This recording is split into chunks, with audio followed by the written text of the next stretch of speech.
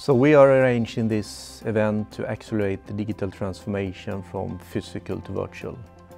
And the reason why we are using XR and have the XR event today is that it's enabling people to actually leverage digital data in a much, much more easier way. XR has been uh, on our research agenda for quite some time.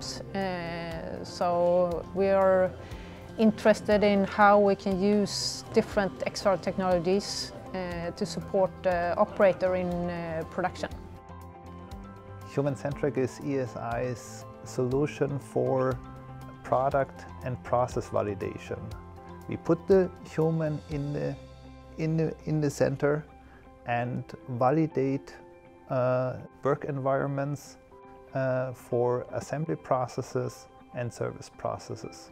Uh, we have a business line that's called ICIDO that uh, we develop uh, for addressing uh, product integration challenges and validating ergonomic problems, worker health, health and safety issues in manufacturing environments or in service environments. And ICIDO can help them to come up with faster development uh, and uh, uh, better decisions.